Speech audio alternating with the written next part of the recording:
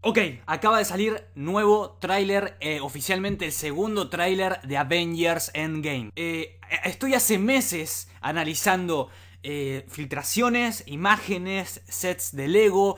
Estoy loco por esta película. Quiero más y más y más y se acaba de estrenar el segundo tráiler. Así que vamos a verlo. estoy, en serio, estoy muy, muy emocionado. Mis expectativas son muy altas. Necesito más. Necesito ver. Va.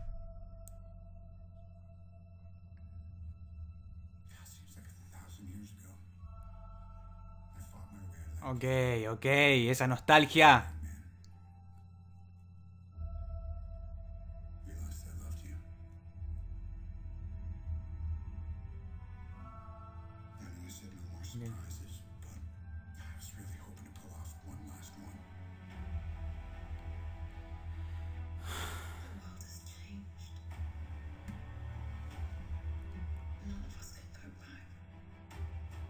Ok, ok.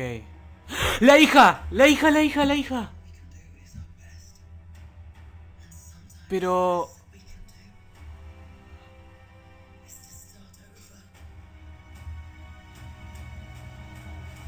Dame algo nuevo, dame algo nuevo, por favor.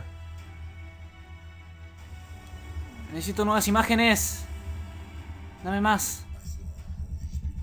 Ok. Quiero más, quiero más.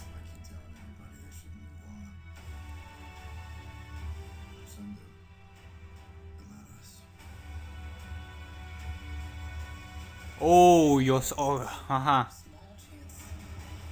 Perfecto.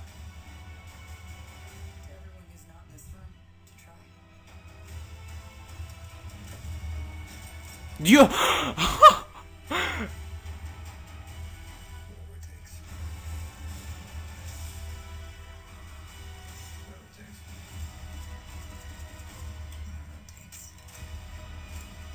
¡Oh, el capitán!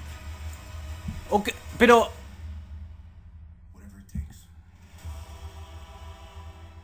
¡No!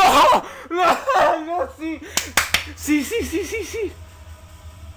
No, no, no, dame más. Quiero... No, quiero más. Por favor. Una escena más, una escena más. Ok.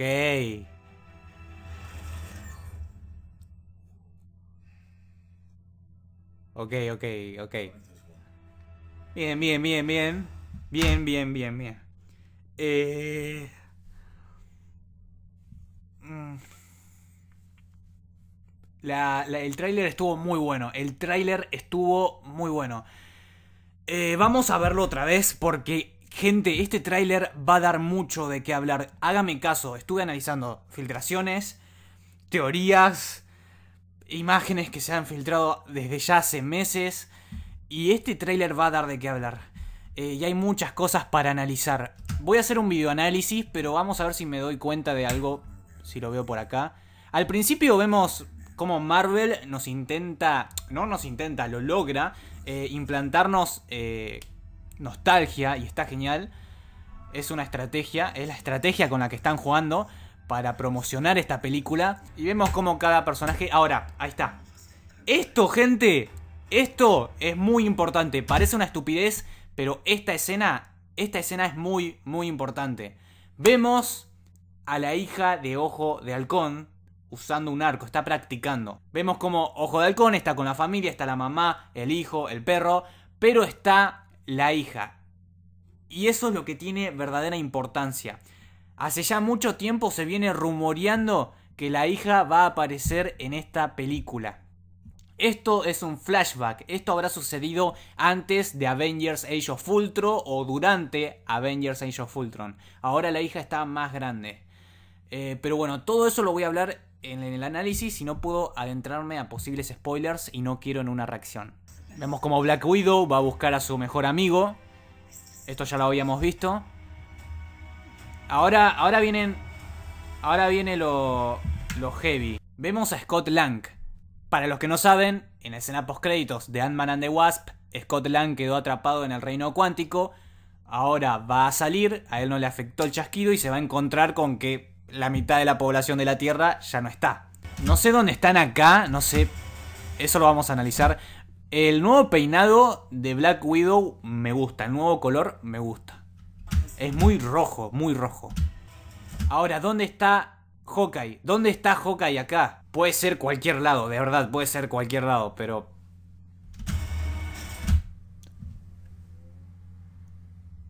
Esto, esto es genial, esto es genial, esta imagen es muy épica. Vemos a Máquina de Guerra con su nueva armadura, armadura la cual va a estar relacionada a la Buster. eso ya lo había hablado en filtraciones, después en el análisis lo voy a mencionar bien. Eh, y vemos a Rocket con su traje, con su uniforme clásico de los cómics. Es genial, es genial. Vemos que Steve parece estar en lo que sería la casa de Hawkeye. Parece ser la casa de él.